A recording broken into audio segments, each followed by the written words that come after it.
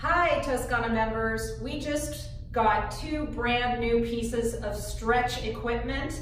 Every Toscana member should be using these two pieces. We have our anterior stretch and our posterior stretch. These are the two things that everyone needs. I'm gonna briefly go over how to use these because there are some particulars.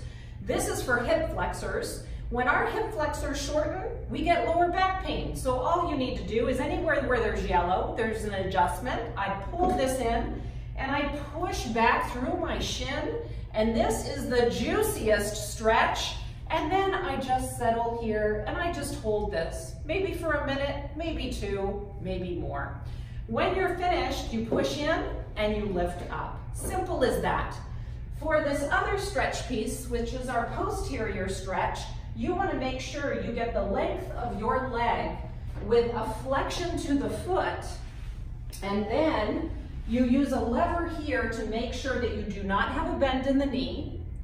After you have done that lever, you pull the yellow lever up here to raise this piece up just as possibly at a stretch that you can tolerate. Now, they say on this piece that you should be at a healthy stretch at 60. And Kathy Smith here is at 70. So she has surpassed healthy stretching. This is awesome. I hope to see everybody in here.